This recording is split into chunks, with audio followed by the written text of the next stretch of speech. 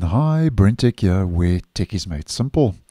So, back in October last year, we had a first look at Windows 10's new About Settings page, which, as I mentioned in that video, which will be linked down below and in the end screen, highlighted key hardware specifications of your device with new top cards at the top of the About Settings page.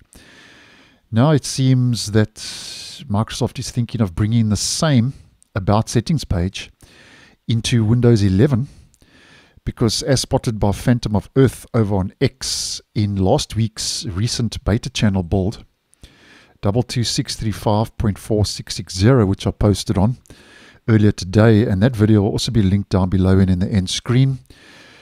The Windows 11's About Settings page is getting new top cards that highlight key specs.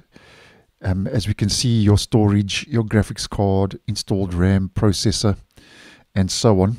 And these are the same top cards or a little hardware specification tabs that were seen in Windows 10's redesigned About Settings page, as I mentioned in that previous video. And this wasn't highlighted in the change log, so it wasn't an official feature. But this is a good indication now that this has been spotted both in Windows 10 in preview late last year and now in early preview um, early this year, there's a good chance that we are going to see this About Settings page roll out to both Windows 10 and Windows 11.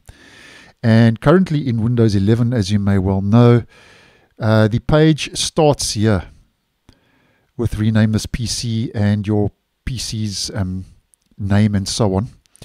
So just above that now we get the new hardware specifications and I actually think this is quite nice.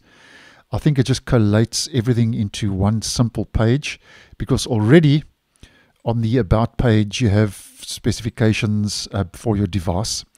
And I think just popping this right at the top is kind of like a one stop where you can have a quick glance at your um, different hardware specifications. So basically, at the end of the day, what this means is that the cards will help you to basically understand your specs a lot quicker and a lot easier. And I think this is a nice move. So I think it's only a matter of time before we see the new top cards and the new about um, settings roll out to both Windows 10 and Windows 11. And obviously, if and when that happens, I'll try and keep you posted.